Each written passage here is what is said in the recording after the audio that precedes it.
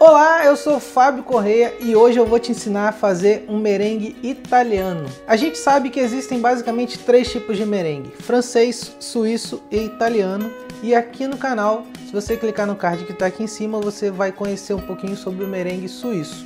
Se já estiver no meu canal e na fanpage todos os três merengues, você vai ver no card aqui em cima o link dos três vídeos ou na descrição desse vídeo aqui, se você estiver no Facebook, também vai ter os links para você. Se o merengue francês já estiver no canal, você vai ver aqui no card também. Se não, é só aguardar um pouquinho que mais para frente a gente fala dele. Então aproveita agora, clica no curtir aqui embaixo, compartilha esse vídeo com todos os seus amigos, todas as suas amigas, em todas as redes sociais, para a gente elevar o nível da nossa confeitaria aqui no Brasil. Todas as quantidades dessa receita estão na descrição desse vídeo, aqui embaixo se você estiver no YouTube ou aqui em cima se você estiver no Facebook.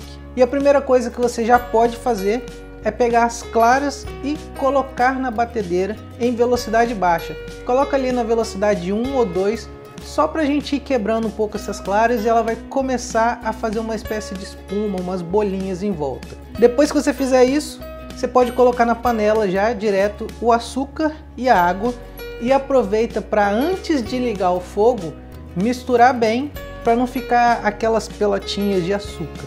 Mistura e depois não mexe mais. Liga o seu fogão em fogo médio para alto e vai acompanhando a temperatura. Aqui é muito importante você ter um termômetro. A temperatura nesse caso vai fazer total diferença do seu merengue dar certo ou não. Você vai deixar aquecer essa calda de água com açúcar até aproximadamente 110, 112 graus. E quando chegar nessa temperatura, você vai lá na sua batedeira e aumenta a velocidade para o máximo para a gente realmente começar a montar as claras. Continua monitorando a temperatura da calda e quando essa temperatura chegar a 121 graus, você já pode desligar o fogo e imediatamente despejar essa calda sobre as suas claras que já devem estar montadas nesse ponto e você vai despejar em ponto de fio, sem ficar despejando aos pouquinhos não. Você vai colocar devagarzinho como você está vendo no vídeo aí, porém sem interromper. Feito isso, deixa sua batedeira batendo por bastante tempo até que você coloque a mão ao redor do bowl da batedeira e perceba que a temperatura já chegou próximo da temperatura ambiente, que já esfriou bastante, tá? Isso é importante para que você tenha um merengue mais bonito, mais brilhoso e mais liso. Assim que o seu merengue tiver já esfriado, né, que já tiver uma temperatura boa para a gente pegar e manusear, você vai reparar também uma outra dica é que o, até o barulho muda na hora que você está batendo o merengue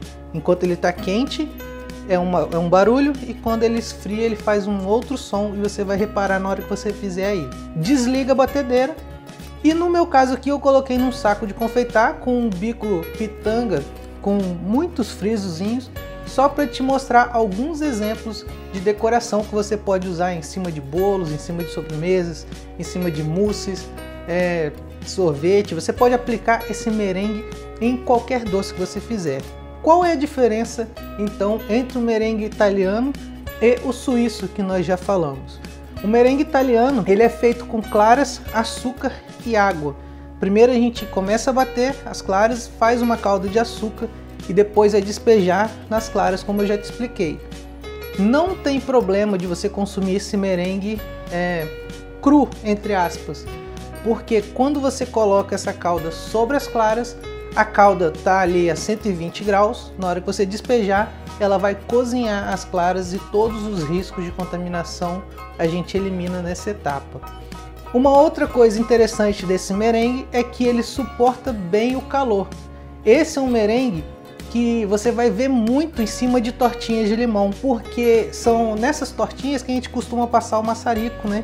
Queimar o merengue para ficar com aquele aspecto meio dourado, meio queimadinho. Então esse tipo de merengue suporta muito bem esse calor direto da chama do seu maçarico e é por isso que a gente prefere usar ele do que um merengue francês, por exemplo, tá bom?